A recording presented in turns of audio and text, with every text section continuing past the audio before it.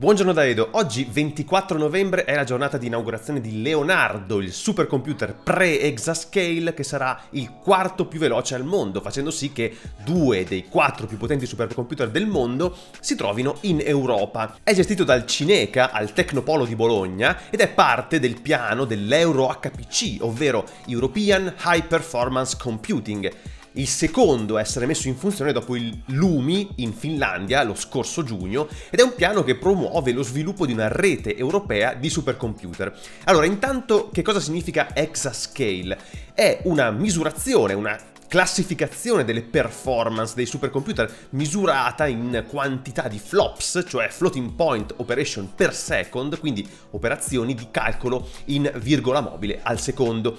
Guardando la classifica dei supercomputer top 500, finora l'unico ad aver raggiunto questa soglia, superato questa soglia, è Frontier, installato nel 2021 a Oak Ridge, negli Stati Uniti, e realizzato da HPE, che sarebbe Hewlett Packard Enterprise, con processori AMD EPIC. Il secondo in classifica, e si scende di parecchio perché andiamo a più che dimezzare le prestazioni, è il supercomputer Fugaku, realizzato da Fujitsu e installato a Kobe in Giappone nel 2020 con processori di Fujitsu A64FX. E poi appunto abbiamo il finlandese Lumi, che è praticamente una versione ridotta del Frontier, sempre realizzato da HPE e sempre con processori AMD EPIC. E infine eccoci qui al quarto posto, che da oggi è occupato da Leonardo, sviluppato sviluppato dalla francese Atos e basato sulla sua architettura Bull Sequana XH2000. Il sistema è equipaggiato con circa 3500 processori Intel Xeon e 14000 GPU Nvidia A100,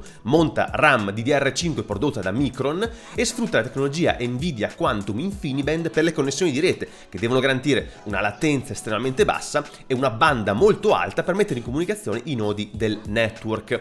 EuroHPC, tra l'altro, dice che in futuro sarà migliorato dall'integrazione di processori quantistici. Atos è un produttore francese che ora ha 43 supercomputer nella lista top 500. Quindi non sapevate che quello del supercomputer è un business in espansione? Oggi lo sapete. Peraltro la stessa Atos sta costruendo Mare Nostrum 5 al Barcellona Supercomputing Center, che sarà invece dotato di processori Intel Sapphire Rapids, che sarebbero gli Xeon Scalable di quarta generazione, coadiuvati da CPU Nvidia Grace, che sono dei processori ARM costruiti apposta per le alte prestazioni degli HPC e per i calcoli di intelligenza artificiale. Tutti i supercomputer Euro HPC saranno disponibili all'uso attraverso servizi cloud-based, sostenuti da un'infrastruttura di rete federata con connettività terabit e la rete è destinata a espandersi ancora, quindi l'obiettivo dichiarato è di rendere l'Europa una superpotenza nell'ambito del supercalcolo. Oggi all'inaugurazione di Leonardo al Tecnopolo di Bologna ci sarà il presidente Mattarella, che comunque dà un po' l'idea dell'importanza dell'evento per l'Italia, che conferma il ruolo importante in questo settore perché ricordo che il Cineca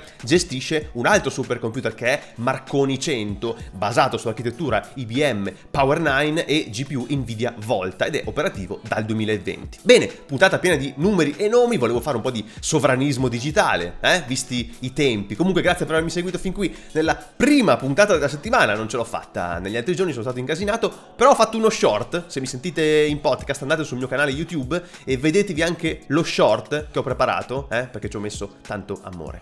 Alla prossima.